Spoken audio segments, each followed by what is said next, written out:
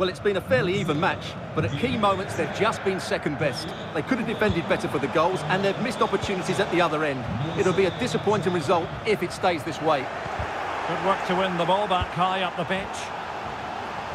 Well, there's still scope for late drama here. Five minutes left, and just one goal between the sides.